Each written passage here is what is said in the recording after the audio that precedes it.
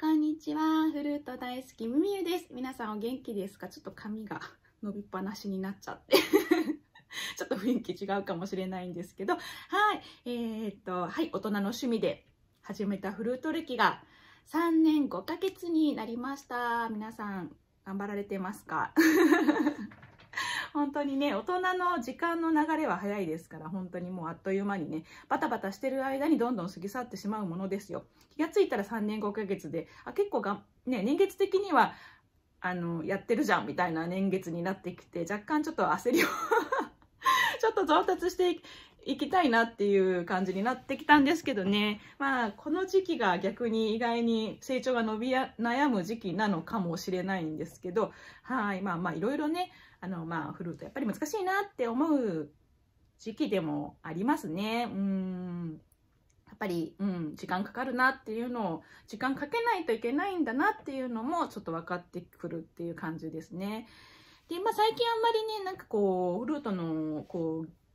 何ですかね、こう、アパチュアの話とか、あの、お腹を使うことの話とか、最初の頃結構上げてたと思うんですよね。あの、本当に初心者なりの、あの、こんな感じかなっていう悩みも含めてね、お話よくしてたと思うんですけど、あんまり最近ね、そういったこうアパチュアの話とか、お腹の話とか、あんまりしてなかったと思うんですよ。まあ、それは、まあ、なぜかっていうと、まあ、正直、よくわかんなくなってたっていうのと、ま、正解がね、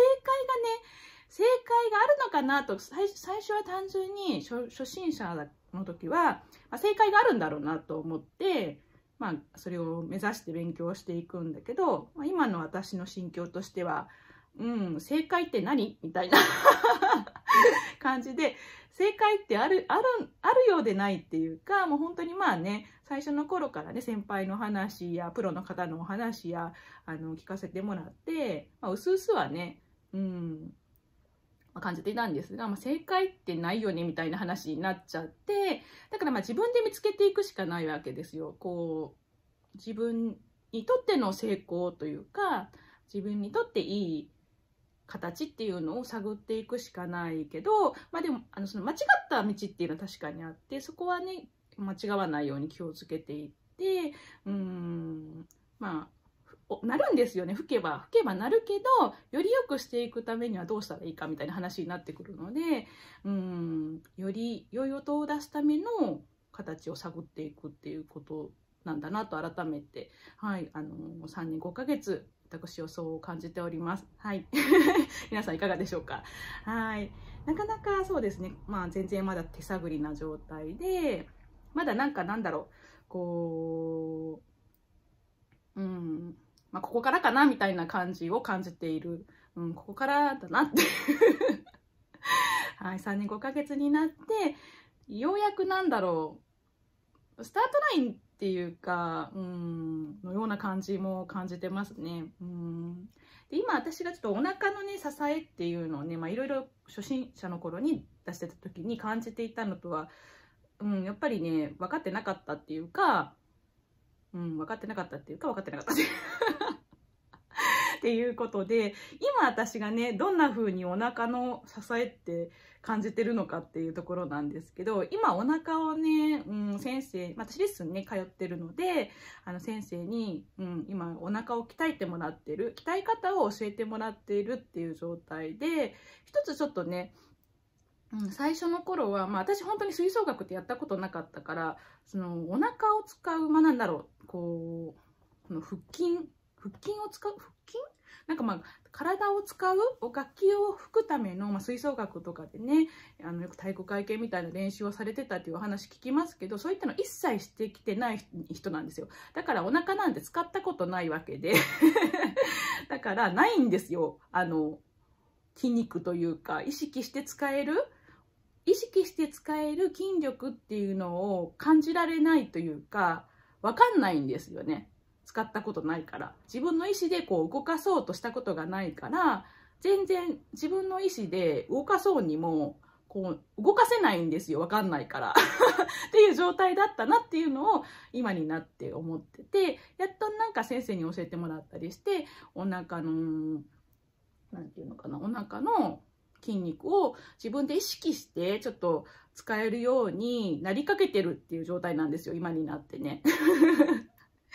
それ、それが、あの、一つの、まあ、先生にちらっと言っていただいて、あ、そういうこと、そういうそれかみたいな感じで思ったのは、あのすみません、ちょっと汚い話というか、あの、まあ、ちょっとね、あの胃腸、胃が、なんか変なもの食べたりして、こう、嘔吐することあるじゃないですか。嘔吐するときね。それって、あの、もう、なんだろう、こう、いこう、こう、こう、うってきて、うって、すいません、汚い。ちょっとごめんなさい。私のか、それがね、すごいね、なんか、こあ、こ、これ、これなのかって思ったっていうので、ちょっと私の中ですごいポイントだったので、ちょっと、そういうことなんですよ。うってなって、ぐってこう、お腹の中から、こう、自分の意識、意識とは反してこう、こう、嘔吐するときあるじゃないですか。私結構、あの、偏頭痛から嘔吐、ちょっと体調崩して、あの、そういう場面が、ちょこちょこあったので、なんかそれがイメージしづら、しやすかったんですけどね。だからその時の、うってきて、うってなる時の、こう、こう、内部からこう、うってくる力、一気にこう、吐き出す時に、こう、中からこう、押し出される感じの、こう、部分が横隔膜なんですよ。っていうことで、その感じ、その感覚で、うっていう感じの、うっていう感じを使いながら、ふ、ふ、ふっていう感じで意識して、ふ、ふって息を出すっていうのをや、やり始めて、ちゃんとこう自分で、こう、ふ、ふ、ふ、その横隔膜の力を使って息を出すっていうのが、こう連動し始めたんですよね、自分の中で。で、それで、やっと、あ、これが横隔膜を使う？お腹を使うっていうことなのかな？みたいなのをちょっと分かりかけてきたので、まあ、そこからまあその動きその連動させていく意識して自分でこう連動させていくっていうのを最近頑張ってるところです。まあ、これが正解なのかどうかはまだちょっとわかんないんですよ でも、あのー、確かにその意識は、その、それを意識するそれを意識するまでは、全然わかん、分かってなかったっていうか、こう、意識して使えるものがなかったっていうか、こう、お腹をへこましても、それに伴って息が出せなかったっていうかね。っていう、連動させることもできてなかったんですよ。書いたこの、この辺だけで吹いちゃってるっていうのだったので、うんま、まだ本当にその感覚だけなので全然めっちゃ分かってないと思うんですけど、まあ、そういう感じですっていうことで、まあ、そのその横隔膜はそういうその横隔膜っていうのはそういう部分なんだっていうことが分かったよって 報告動画で。すいません。なんかちょっと変な表変なねもっとあの綺麗な もっとね、あの、ね、こんな動画でご紹介するんだから、本当はもっと綺麗な例えをしたかったんですけど、ちょっと他に私分かんなかったっていうか、私が一番ピンときたのが、その、ごめんなさい、オートっていう。ちょっと申し訳ないんですけど、その感覚だったので、もしかしたら、まあ、あのー、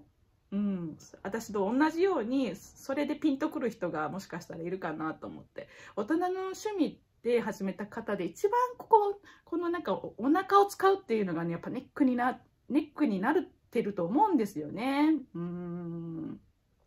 本当に難しくってわかんないんですよ。うん。お腹と連動させて拭くっていうのがですね。